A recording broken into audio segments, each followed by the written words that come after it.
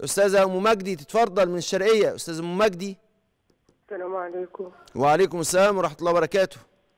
أنا بحب البرنامج بتاعك قوي يا شيخي. ربنا. يحفظك ربنا يكرمك ويزيدك نور وبركة يا رب.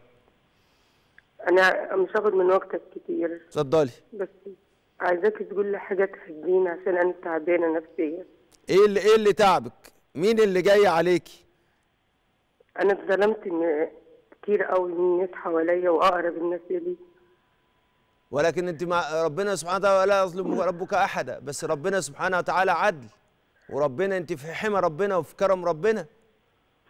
وبعدين رحت اتجوزت ابن عمي يعني هو هو ابن عمي ابن عمي العم يعني.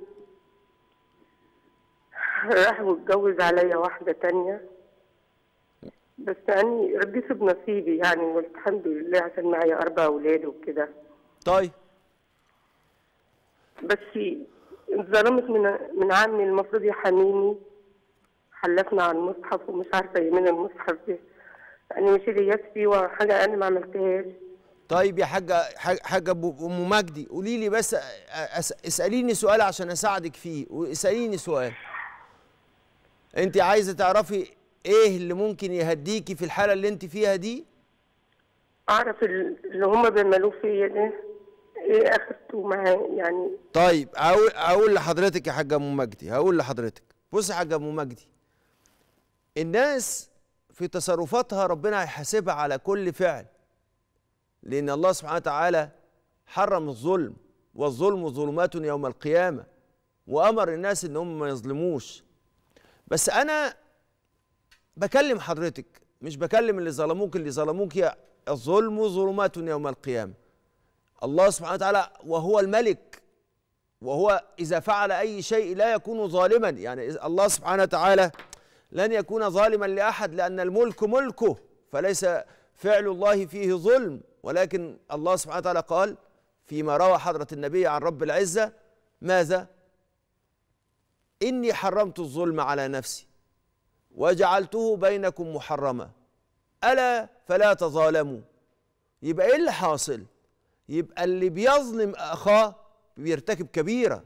ويبقى إيه؟ واللي مرتكب الكبيرة ده يبقى في ماذا؟ في مشيئة الله. إن شاء عذبه وإن شاء غفر له. يعني الظلم ده مش ذنب زي ما بقية الذنوب تروح بالاستغفار. ده يفضل معرق لازم أستغفر واجب عليا إن أنا أستغفر ويفضل متعلق في رقبتي. فبقول لكل اللي ظلموكي اتقوا الله سبحانه وتعالى.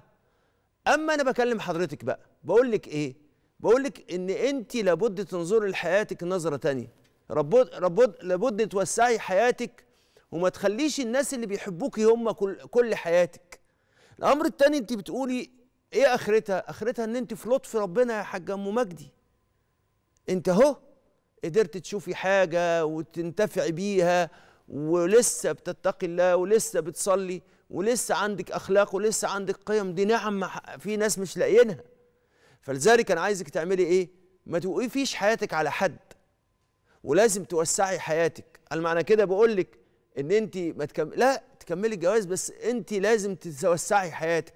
لازم تشوفي أشياء جديدة وتحطيها في حياتك وتوسعي حياتك لأن دوت اللي هيخرجك من الكآبة اللي انت فيها ومن إحساس المظلوميه اللي انت فيها دي وهيخلي حياتك أحسن وأفضل إن شاء الله.